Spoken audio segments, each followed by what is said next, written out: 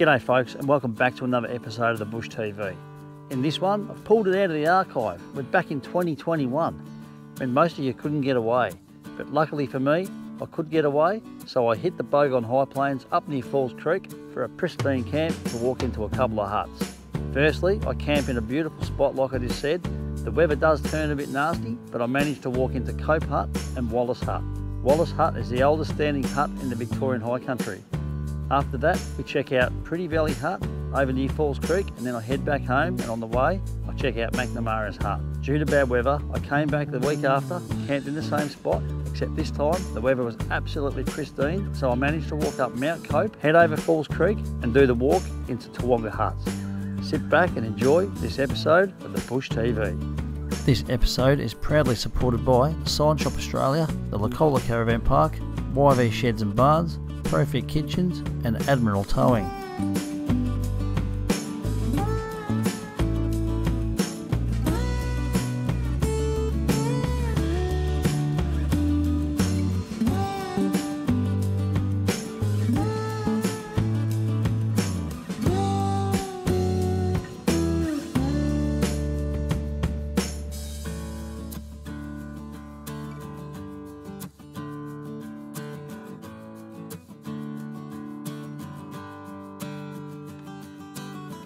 All right,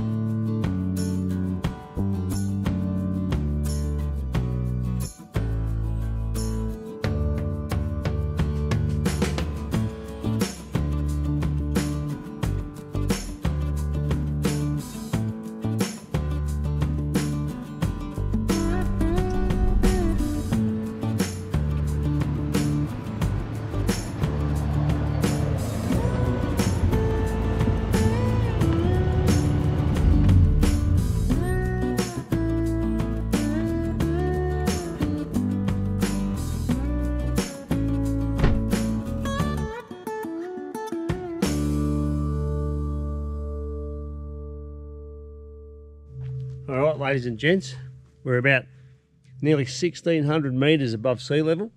So we're pretty high up. It's pretty cold. I brought a new thermometer because I left one of my thermometers in Crow's Hut last year. So we'll get that out in a minute. We'll set up some camp, get some firewood, and then we'll get a fire going.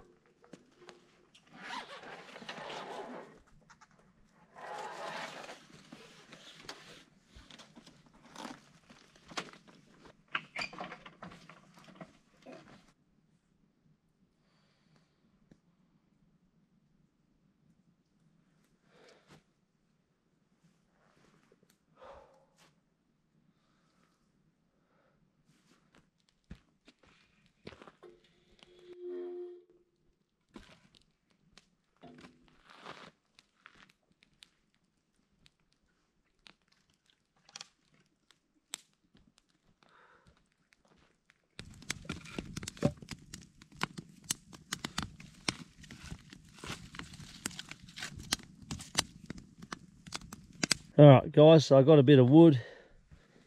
We got the swag set up there. The awning's done. Everything's ready to go. Now all I've got to do is heat that fire up and uh, get some steak on the go.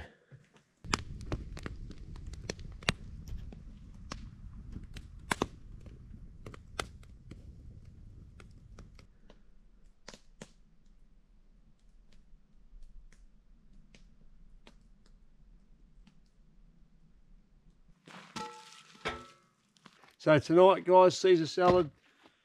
We have some cutlets on the frying pan. Very basic meal. I'll try and get as much as I can done on the camera. There's the fire, the frying pan's on. We're doing a basic cook tonight. Like I said, it's pretty cold. It's probably about six degrees Celsius now. It's not that cold. Like, it's been colder, right? See how we go. I'll try and get this on camera.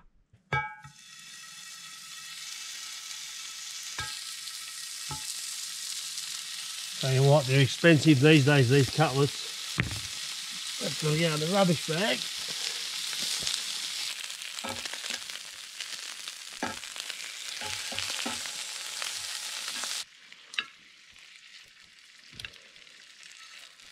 These cutlets are just absolutely beautiful. Look at that. One benefit of putting the frying pan on the seat. Oh, I've got a warm bum. It's not cold. Look at this beautiful dinner, eh?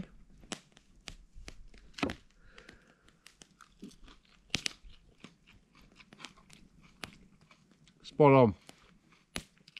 Let's check these out.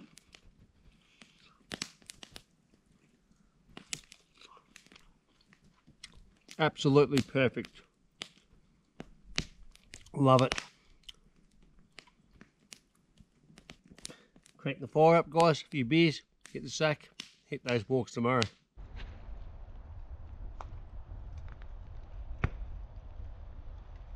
Right, guys, I'm packing up from this spot. It's been wet since about, I reckon, one o'clock in the morning. Check out the size of that slug on my tarp. There's my hand. That's a worm. Had a whole heap of spiders under there as well. Looks like everyone wants to keep dry.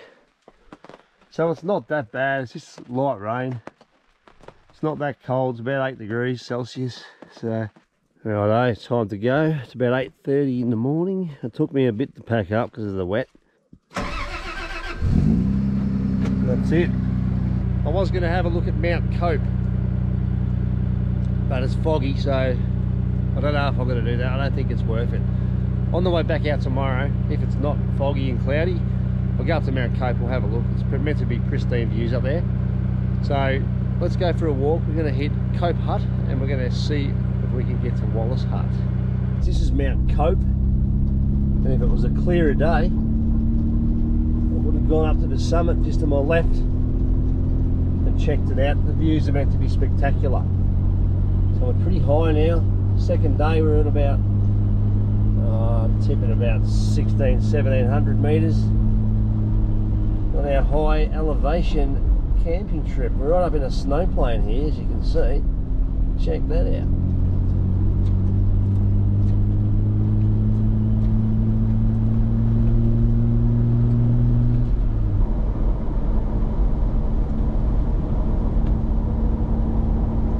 we are at the track that goes into Cope Hut. So let's go for the walk and check it out. The weather's pretty bad. So there's a group of people stayed there apparently last night. So I just spoke to someone then, who is a school group. So Cope Hut, it's only 400 metres. It's not a very big walk. Let's go and check it out.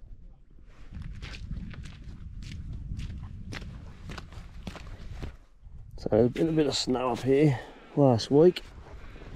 So we're pretty high up. It does get cold and it can snow in summer up here. Cope Hut was built by Ski Club Victoria in 1929 after the state experienced a surge in skiing in the 1920s. This is Cope Hut. I'm not going to go inside because there's a there's a grammar school or something in there. They're hiking around the area and they're all inside there at the moment. So we won't go inside. It's a nice easy walk from the road. Um, we'll head off. I'll have a quick walk around it. Then we'll head off. We'll have a look at Wallace Hut. And then we'll wrap up the day.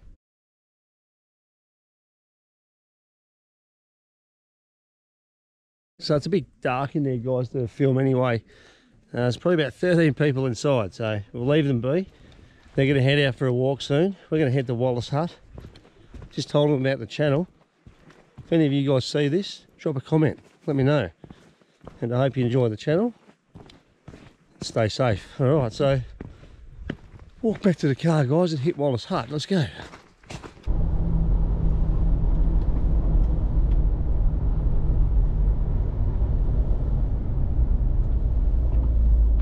All right, guys, so we're at the start where the track is that goes into Wallace Hut.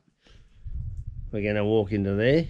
Someone just walked in in front of me, but that's all right. We'll let him go for a bit, then we'll head on down. Let's go. So on a good day, it'd be beautiful up here, ladies and gentlemen. It's just a pity I missed the boat last week. I was sick. I would have come away then. Had a couple of good days. This trip was meant to be uh, good weather, but it's changed. So, well, that's all right. It is what it is. It's not going to stop me. Wallace Hut is the oldest surviving hut in the Victorian High Country. Originally built in 1889, like most of the huts, has been extended since. It has no modern facilities and is not used as accommodation. So the other people did say that there was a group in this hut as well. So if that's the case, we'll get some footage from the outside. The other hut, which is Cope Hut, was a little bit dark inside anyway to get footage. It's actually not as big as I thought inside. I poked my head in and have a look. So we'll see what happens with this one. So I'm pretty sure Mount Bogong is named after a moth, like is in, you know, like a caterpillar moth. Yeah, it's called a bogong moth. Aboriginal used to come up here every summer and uh, feast on these bogong moths. Okay, I can see the hut, guys. It's just in front of me over there. So we'll just check it out. All right, ladies and gents, this is Wallace Hut. Let's have a gander.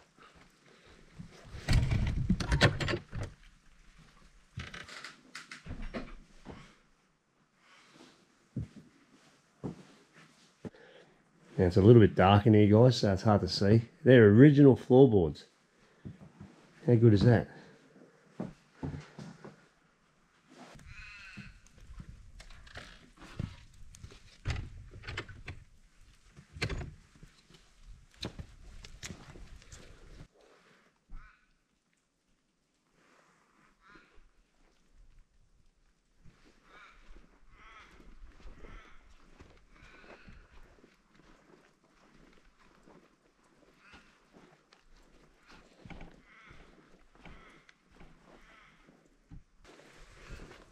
Very cool hut. Indeed.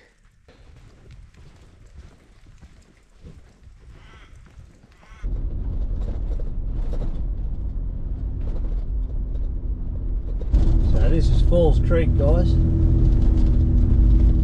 There's a whole heap of chairlifts and things around. It's bumpy this corrugated road. And we're sitting at about, well, it has to be about 1800 I think above sea level. Very close to it. Actually it's not 1800 it's about about 1700 here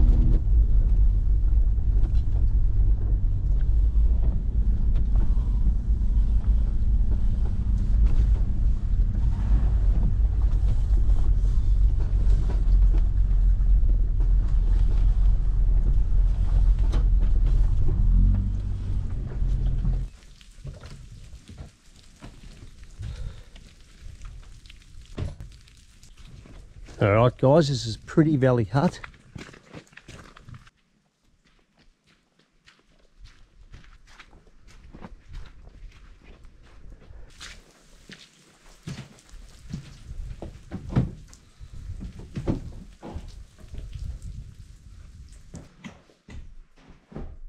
All right, she's pretty small, ladies and gents. Bit smaller than I expected, so yeah, I don't think we'll be staying in this hut tonight. There's not even really room for the swag in here.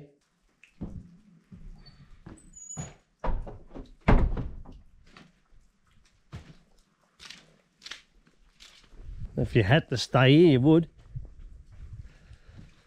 I mean, you could roll the swag out right there, but it's a bit muddy. So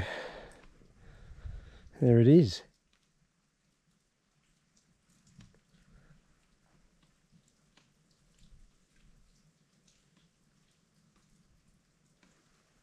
Alright guys, so McNamara's hut. I've come 25 k's I think from Falls Creek. I want to go and have a look at this one and um, yeah, see how we go. Track's a little muddy in spots. I'm still in high range two wheel drive You don't want to shake those cans around too much in the back. So the hut's just here. We'll go for a walk and have a look.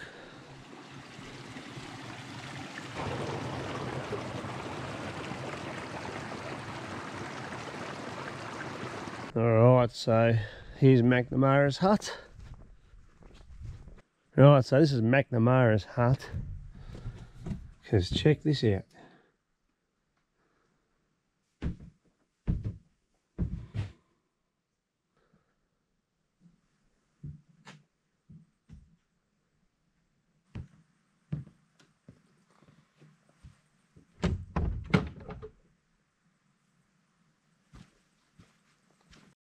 All right, ladies and gents, that wraps up this trip. There is some bad weather coming as well. It's actually not that cold, but it's wet.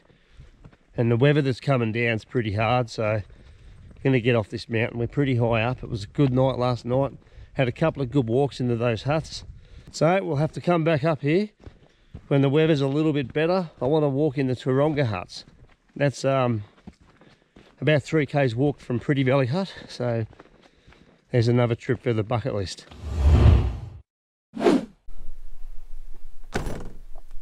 Well, here I am again in the same spot, but on a different day. And just check this out. The weather is absolutely pristine.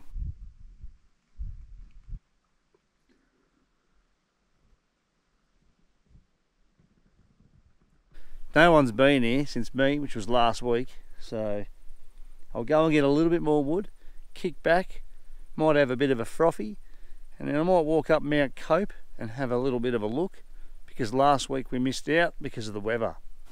Tonight I'm trying something a little bit different. I've just made an upside down fire. Alright, so I have seen this done before. What I'm going to do is give it a go and uh, obviously if it doesn't work I do have a plan B. So we'll go for this walk, we'll light it later and uh, let's see if it works ladies and gents.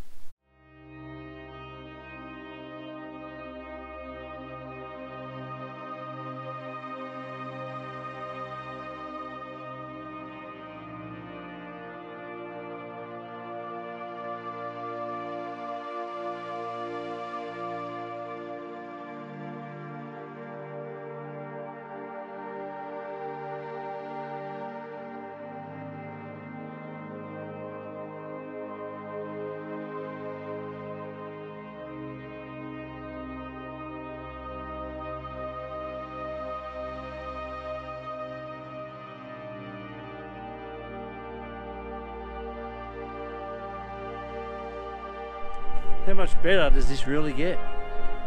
Just check it out ladies and gents. We're sitting on Mount Cope.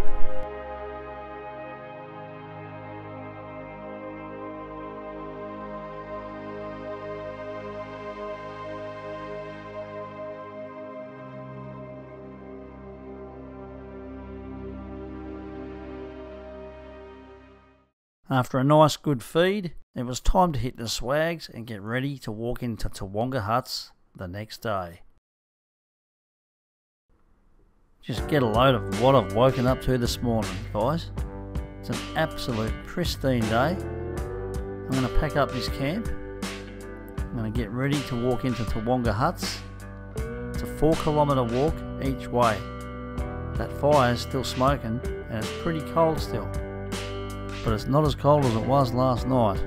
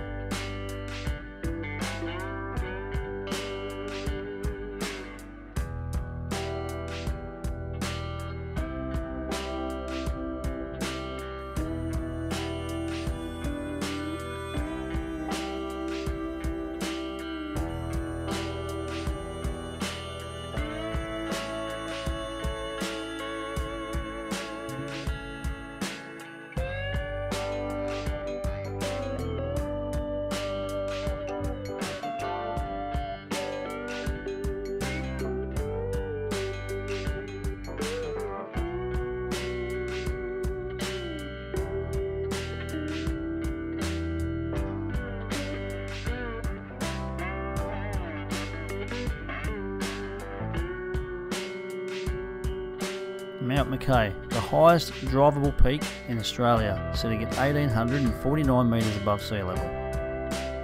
Well, guys, I'd seriously soak this in while you're here. It's like, how much better does it really get? Like I said yesterday on Mount Cope. Now it's about 10 o'clock in the morning, ladies and gentlemen. This is beautiful. I can't get over the day.